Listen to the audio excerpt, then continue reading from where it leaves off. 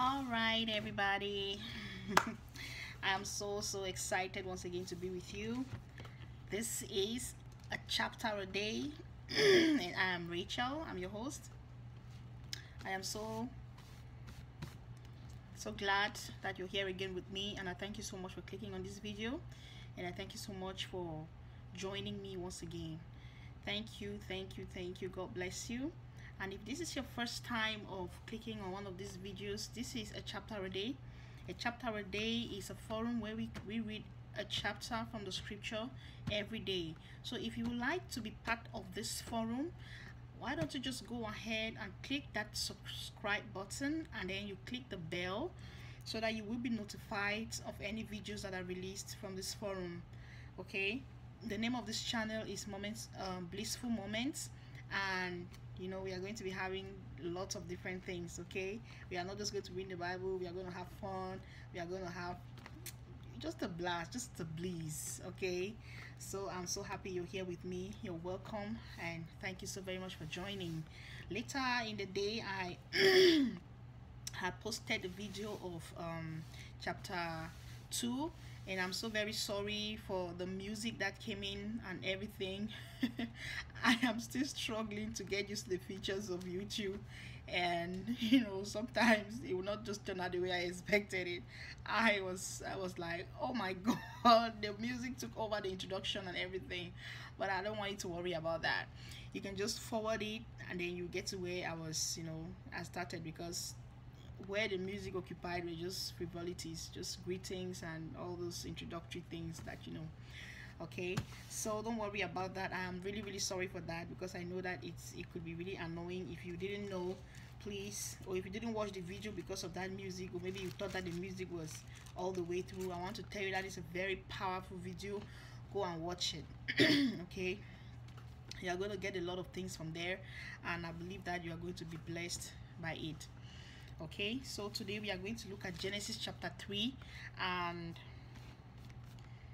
before we go to chapter 3 i left a question with chapter 2 and the question was about uh, why was the man and the woman not ashamed of their nakedness while they were in the garden of eden? You remember the in in um verse 25 of chapter 2 the bible says that and they were both naked the man and his wife and were not ashamed so i want you to leave me your thoughts about that okay? Uh, we are not going to talk about this one today. I just i'll just go straight to chapter 3 i want to read it. And i would like to know what you think. I really really want to know what is in your mind. So i want you to leave go back to that video you can watch it and then you can leave your comments in the comment section or your thoughts in the comment section. And then don't forget to share with your friends don't forget to invite your family don't forget to invite your you know loved ones so that they can join us in this forum. Everybody needs to get knowledge of the truth and how all this you know how the how all this came about. So it's important for us to go deep into it. So today we are looking at uh, chapter 3 of genesis and I'm going to be reading with you. It is quite a very sad chapter because it is the beginning of the fall, but in all things we have hope because we have we have been we have we we are we are able you know to have redemption through the blood of jesus christ so let's see where it all started in this one also there is there is a very powerful inspiration that god gave me once from this um, chapter 3 and i know that one day i'm going to make a video on it and i'm going to let you know okay? All the things that god was telling me about this chapter. Okay so for now we are just going to read the chapter. And then when we read the chapter you you can just go through it look into the chapter. If you find anything that you think that we you want to share with somebody else or an inspiration you just leave it in the comment section. I believe that all the people that come back to read those comments are going to gain something from you okay? So thank you so very much. Um now let us let us go. Chapter 3 verse 1 Now the serpent was more cunning than any beast of the field which the Lord God had made. And he said to the woman, Has God indeed said, You shall not eat of every tree in the garden? And the woman said to the serpent, We may eat the fruit of the trees of the garden, but of the fruit of the tree which is in the midst of the garden, God said, You shall not eat it, nor shall you touch it, lest you die. Then the serpent said to the woman, You will not surely die. For God knows that in the day you eat of it, your eyes will be opened, and you will be like God, knowing good and evil. So when the woman saw that the tree was good for food, that it was pleasant to the eyes, and a tree desirable to make one wise, she took of it, she took of its fruit and ate. she also gave the she also gave to her husband with her, and he ate. Then the eyes of both of them were opened, and they knew that they were naked, and they sewed fig leaves together and made themselves coverings. And they heard the sound of the Lord God walking in the garden in the cool of the day. And Adam and his wife hid themselves from the presence of the Lord God among the trees of the garden. Then the Lord God called to Adam and said to him, Where are you?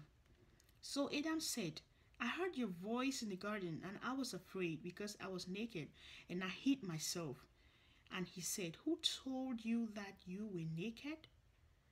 Have you eaten from the tree of which I commanded you that you should not eat? Then he said, The woman whom you gave me to be with me, she gave me of the tree and I ate. And the Lord God said to the woman, What is this you have done?